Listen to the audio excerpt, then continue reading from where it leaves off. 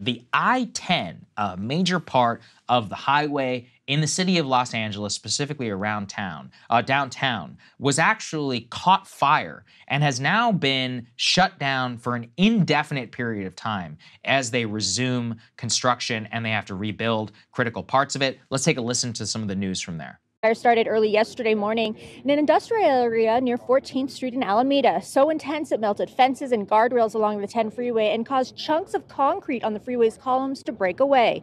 Two fire trucks were damaged and cars, pallets, shipping containers, and more in the storage yards burned took more than 160 firefighters hours to douse the flames. Crews were monitoring hotspots into yesterday evening.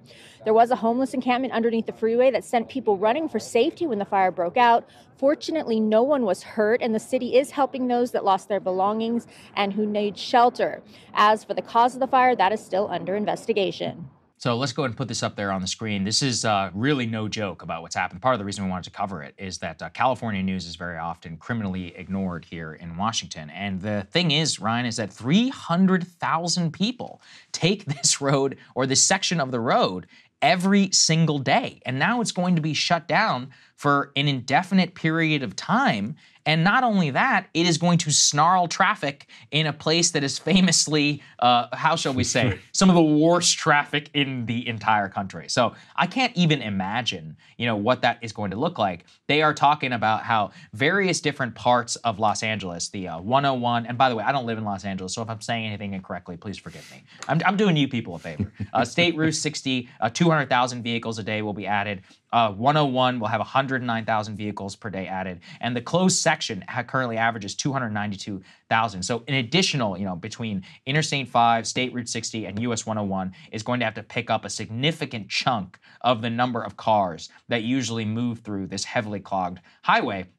The reason why I think it kind of fit with this is that there's a ton, a ton of speculation, Ryan, um, that some of the fire, which they claim is arson, um, I, however, I'm not exactly sure what the technicalities behind that are. Um, might have been sparked because of this homeless encampment that was beneath it. Homeless encampment fires have been a huge problem all across um, Oregon and Los Angeles, um, in particular, where homeless encampments are. I know, I think it's more than a dozen fires in California just in the last two years um, that have occurred largely as a result of like propane tanks mm-hmm. and other unused safe, uh, uh un, un, unsafe use of grills and other things in the area. So I'm curious what you think about this, you know, in the context of now that there's a major fire that's broken out, it's declared a state of emergency. There, this combined with the whole San Francisco thing could actually, I think, kind of change California politics in the way they think about these issues.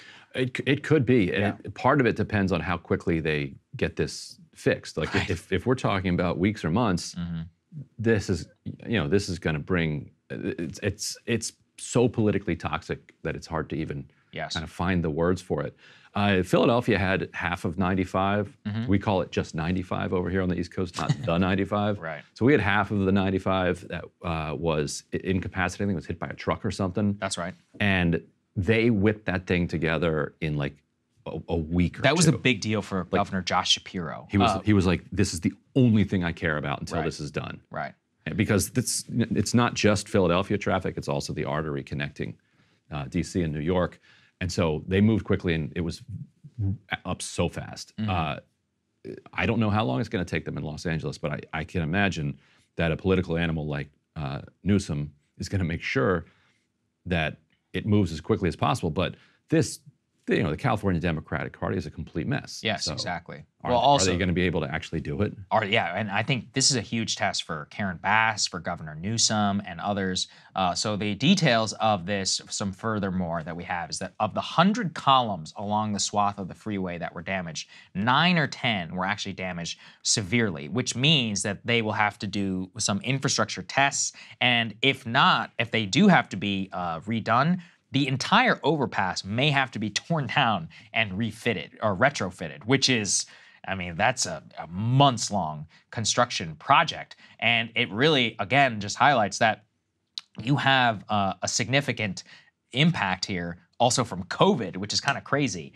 Uh, pallets of sanitizer had been accumulated oh. during the height of COVID and were stored underneath the overpass, which obviously these things are like pure alcohol um, oh and help God. fuel the flames. Part of the reason apparently that it was uh, burning so hot. So the current state fire marshal is asking for people to come forward um, for anonymous tips, and they're going through all of that. But the big, the big, uh, you know, question for all of that right now is how are we going to figure this out? They say this is probably the single most, uh, ch- the single biggest challenge that California and LA commuters have faced in years, and that the follow-on effects from lost time of productivity and traffic, for the follow-on effects of lost logistical support and others that everyone relied on this for, is going to scramble the city, and is also even going to change the way uh, that some people do business. So there could be a pretty significant impact, actually, on downtown Los Angeles as a result of this, even though they didn't do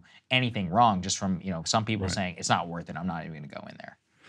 Yeah. Yeah, for sure. It- Right. You don't want to sit in that. Uh, hand sanitizer pallets. Right. Come on. Yeah. What are you guys doing? well, you got to store it somewhere. I don't know. I, I mean, guess. also, does that stuff even work against COVID? That's a that. That's, the other thing. Yeah, it's pro. Yeah, it's and it's.